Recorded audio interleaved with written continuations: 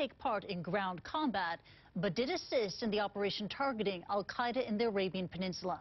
Uh, right now, DNA testing is underway to see if Ibrahim Al Asiri is among those killed. He is believed to be the terror group's chief bomb maker and the man behind the failed underwear bomb plot in 2009. Now, for more, on the attack, I'm joined by Mohammed Jamjoom. He joins me live from Washington. And Mohammed, what more have you learned about this anti-terror operation?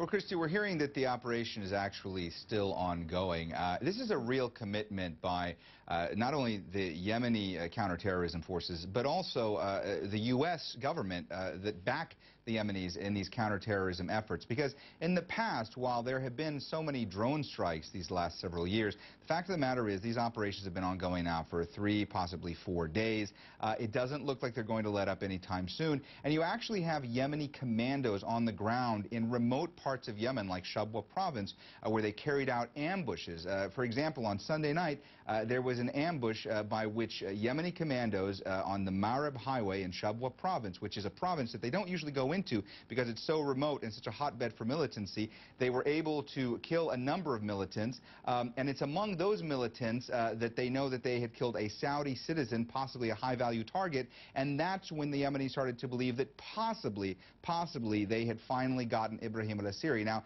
DNA tests are still being conducted. It could take a couple more days. It could take a couple of more weeks. Um, but the Yemenis have told me repeatedly that what they want to do with this operation, not just target high-value people amongst uh, the AQAP leadership, they want to degrade the capabilities of AQAP because time and again in the past they've taken out leadership of the AQAP organization, but that has done nothing to deter the growth and the resurgency of AQAP. So they're going after hideouts, uh, they're going after recruitment centers, they're going after training camps, and they say they're going to continue to do so in the days ahead. Kristie?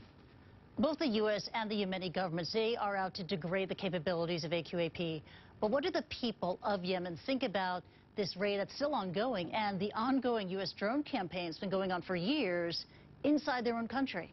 It's a very important point. It's a very good question because when you talk about this raid in particular, what I'm hearing, and not just amongst uh, uh, your average citizens in Yemen, but even amongst some government officials there, there is skepticism. There is skepticism about how much of this may be propaganda. There have been times in the past where the Yemeni government has stated that there was a massive uh, type of operation underway, not that massive at this scale, uh, but massive nonetheless, and it turned out to be not quite what they had advertised it as being. Uh, but when it comes to the drone question, by and large, a majority of the population in Yemen, just about everybody that I speak with, they are very upset about what the drone program has done to Yemen. You know, Yemenis live in fear because of the drone program. Uh, they feel that death can come at any moment, and they feel that there is too much collateral damage. And a good case in point to exemplify uh, the discussion that's going on about this came on Saturday, which was the first day of these operations, uh, when I was told by Yemeni officials that this uh, operation had been meticulously planned to avoid civilian casualties. I asked, well, how many militants have you been able to kill so far. I was told 10. I said, okay,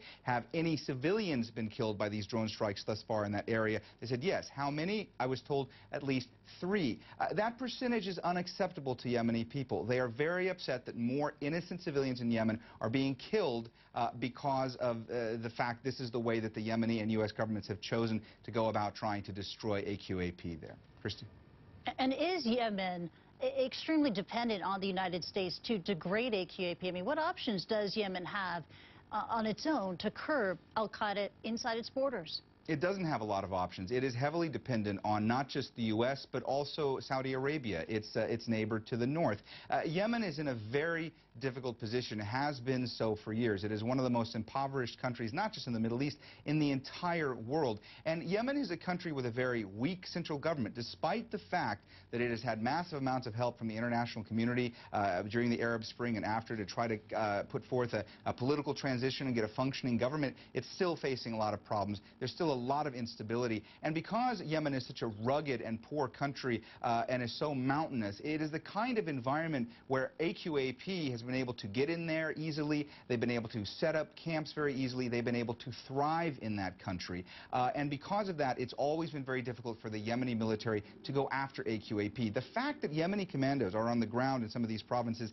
that really is unprecedented. Usually, they wouldn't attempt that because it's just too dangerous, and they don't have the resources to go after AQAP. AQAP in those areas. That's why they've been reliant on the drones. It seems there's a, more of a commitment now from the U.S., from the Yemenis, and possibly even the Saudis to really try to hit these targets hard and fast and really show AQAP that they're not going to just focus on taking out a top tier of people and yet leave the rest of the organization to rebuild once more. Kristie?